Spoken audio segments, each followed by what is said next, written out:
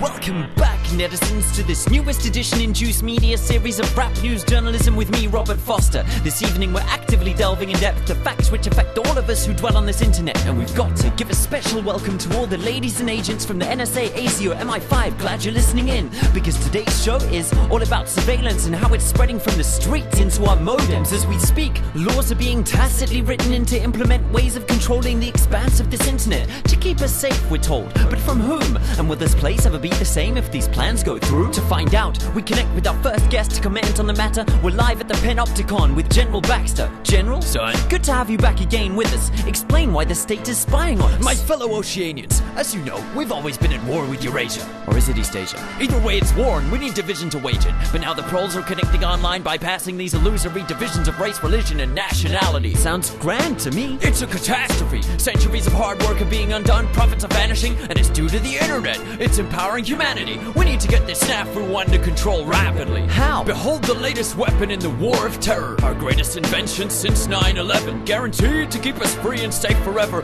I give you the surveillance state, ladies and generals.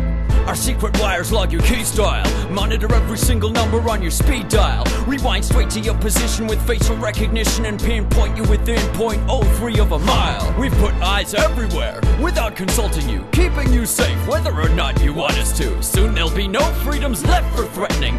Then we'll have won the war. Take that terrorism. Brilliant. Thank you, General. We now interview our resident guru, Terrence Moonseed, for a different view. Greetings. How does this situation look? I have one word for you, Robert. Double plus on good. The world populace of 7.4 billion are all headed in the direction of Orwellian totalitarian oblivion. My voice is hoarse, yelling about stellar winds, cold chilling them and TrapWire weaving through the world wide web we all dwelling in. Face it, the all-seeing eyes in all of our Facebooks like a virus, and in these iPhones with Siri, or should I say Iris. Next in line is RFID devices and mind chips triggered by chemtrails the plague it's too far. Check out the base they're building in Utah, where they'll be storing all your data for over a century. It's FUBAR, and under the outback is an entire tunnel of wires, an echelon base called Pine Gap to hijack our mother Gaia. Hey, maybe your mother's gayer. Boo hoo! Why didn't you just kill yourself like most of your troops do? That's it. Now you're on the cast iron list. Hang on, General. Why weren't we informed about this? Sorry we didn't tell you about our grand plan before. It was meant to be a surprise, under wraps in a store. But some spoil sports had to go and ruin it for all by blowing whistles in spite of the damn law. Bill, Binney, and Thomas Drake are trailblazers for leaking these tactics. Hey, civil liberty activists, uh, activists, this is all legal. Anything we do now actually is. How did- You can't question my authority. Thanks to this. And that shit's global, people. In Australia, it's now legal for the government to store all SMSs, searches, and emails. Australians, it's taking place under your nose. Unless you wake up,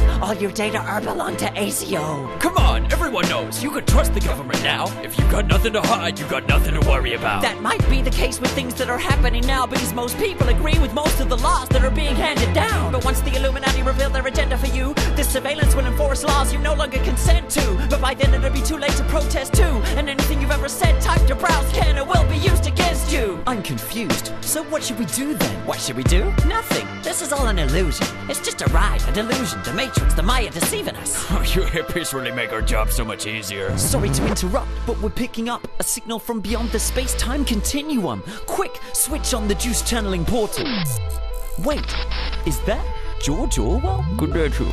Wow, what do we owe this honor to? I tried to warn you noobs, but I see you are actually fools, or else you thought this was an instruction manual. Yes, so can you advise us? What would you have us do? An open and universal internet is the most effective tool you have to address the issues that afflict the world at hand. Therefore, protecting it is the most essential task that stands before your generation. I think I understand. Hush, man! You must not lose the internet. Heed this mantra. Who controls the internet controls the data.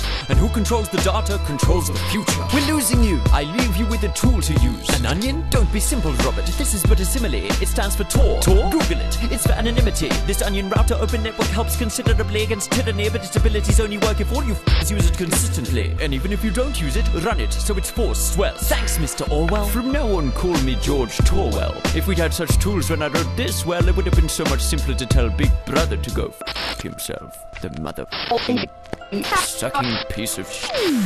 Thanks, George Torwell, for manifesting direct from this memory hole of history to impress on us these messages. We're told we need safety, which is precious, yes, but can a society that can enforce all its laws ever progress? Hindsight shows that many figures guilty of thought crime turned out to be luminaries and heroes before their time. But if a surveillance state had reigned then in this form and design, just think of all the progress we may have all been denied. Could lobbies for women's or gay rights have appeared and thrived? Would revolutionary ideals have materialized? Would science have pioneered or even survived if every word had been monitored by thought police and spies? Big Brother brings chilling effects, freezing our collective hopes. He doesn't protect our safety, but protects the status quo and threatens this internet, the one channel yet uncontrolled, whose openness we are now called upon to effect and uphold.